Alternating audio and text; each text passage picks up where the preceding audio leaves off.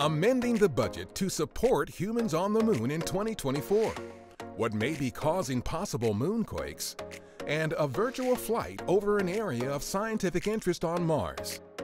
A few of the stories to tell you about this week at NASA.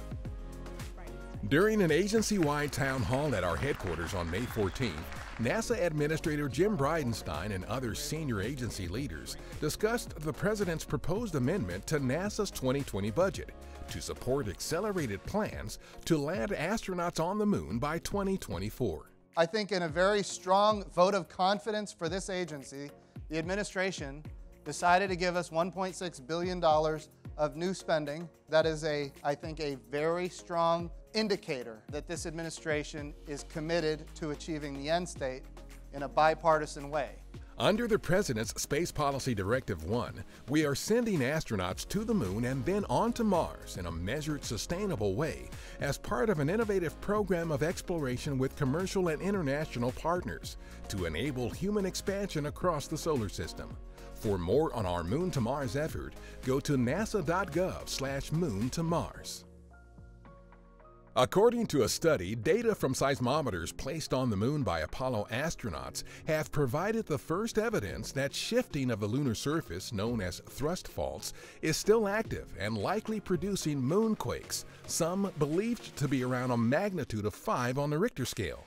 Thrust faults, where a section of the moon's crust is pushed up over another, happen because the gradual cooling of the moon's interior is causing the moon to shrink. The May 17th issue of the journal Science includes the first peer-reviewed scientific results and interpretations of the Kuiper Belt object nicknamed Ultima Thule, based on data gathered during our New Horizons spacecraft's historic flyby on New Year's Day 2019.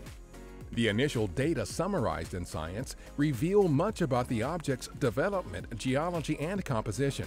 In addition to being the farthest exploration of an object in history, 4 billion miles from Earth, the flyby of Ultima Thule was also the first investigation by any space mission of a well-preserved planetesimal, an ancient relic from the era of planet formation.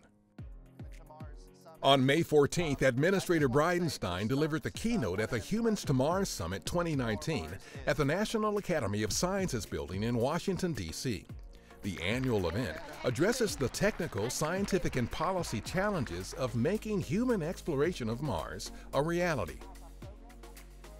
A new animated video shows what it would be like to soar over Mount Sharp, which NASA's Curiosity rover has been climbing since 2014. The aerial tour highlights several regions on the mountain that are intriguing to Curiosity's scientists because those regions could provide more insight into why water, one of the most critical resources for life, disappeared from Mars billions of years ago.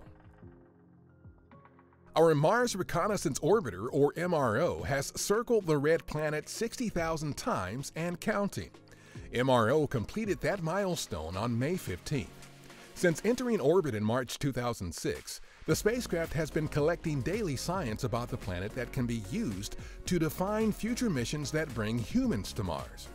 In addition to sending back its own data, the spacecraft is part of a network that relays data back to Earth from our Mars rovers and landers on the surface.